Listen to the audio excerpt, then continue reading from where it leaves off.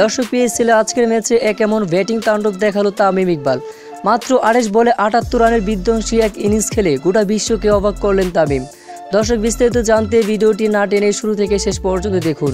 সদ্য বিপিএল শেষ হতে যোগ দিয়েছেন পাকিস্তান সুপার লিগ পিএসএলে। আর এই পিএসএলের চার ছক্কার তাণ্ডব চালিয়ে প্রতিপক্ষ বলারদের পিটিয়ে আতুচাতু বানিয়ে আটাত্তর রানের জড়ো ইনিংস খেলেন আজ তামিম। আটাত্তর রানের জড়ো ইনিংস খেলেন আজ তামিম। তো দর্শক পিএসএলে তামিমের এমন বিধ্বংসী ব্যাটিং তাণ্ডব দেখে আপনাদের কি মতামত? তা জানিয়ে দিন আমাদের কমেন্ট বক্সে। ধন্যবাদ।